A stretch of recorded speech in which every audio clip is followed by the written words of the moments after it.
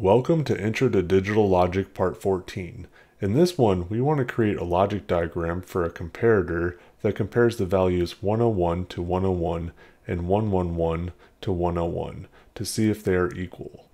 How do we go about solving this one?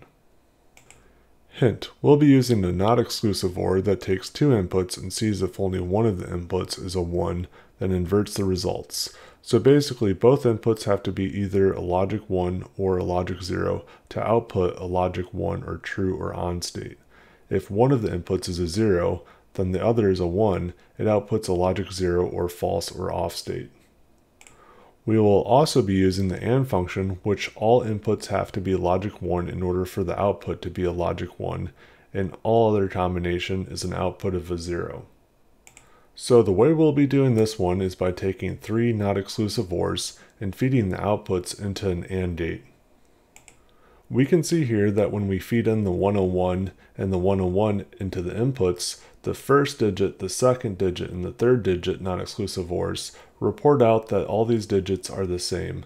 So the exclusive ORs report a true signal into the inputs of the AND gate. And being that all of them are on, the AND gate reports out a 1, which is true that 101 equals 101.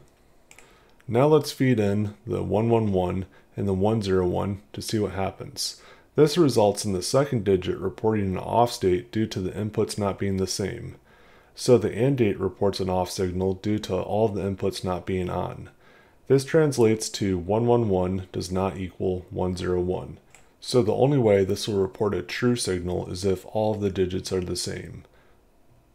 That concludes this video. Hopefully I've earned a like, share, or subscription. It really helps out the channel if you do. If you enjoyed this video, you may enjoy one of these videos as well. Let me know how I'm doing in the comments down below. Thank you for watching.